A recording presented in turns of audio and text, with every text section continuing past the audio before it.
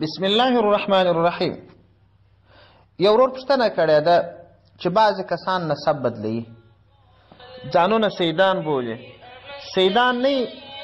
دی ځانونه په سیدانو پورې تړي حال دا چې موږ یې پلار و نیکه پېژنو د دغه سعادت د نامه استفاده کوي دا کار دوی ته جایز دی که نه دی جایز د دغه ورور د پوښتني په جواب کي باید ووایم چي یو پر چا باندي ګمان کول دي چي دا به درواغ وایي دا ګمان نه دی ښه کار ځکه دا یقیني خبره ده ځیني سیدان دلې سته چي شجره ئې موجوده ده او نیکان خلک دي او دا هم لرې خبره نه ده چې داسې کسان به وي چې ناحقه به یې په سیدانو پورې ځانونه تړلي، لکه ته چې وایې موږ یې پلار و نیکه پېژنو. دغسې کار که څوک کوي دا کبیره ګناه ده. پیغمبر صلی الله علیه وسلم فرمایي، من ادعا الی غیر ابیه وهو یعلم فالجنة علیه حرام. څوک که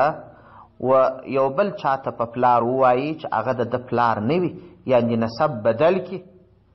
نو دا کار دا کار دا کار چې چا وکړي جنت ورباندې حرام دی او بل ځای کې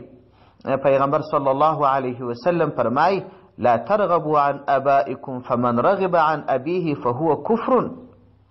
پیغمبر علیه السلام فرمایي، وایي، تاسو د خپلو پلرونو څخه مخونه مه اړوئ، اعراض مه کوئ، نسب مه بدلوئ او چا که دا کار وکړي دا کفر دی، یعنې نږدې و کفر ته دي دومره لویه ګناه ده او بل ځای کې پیغمبر صلی الله علیه وسلم فرمایي، وایي، که څوک د پلار بغیر بل چاته په پلار ووایي، یعنې نسب بدل کړي،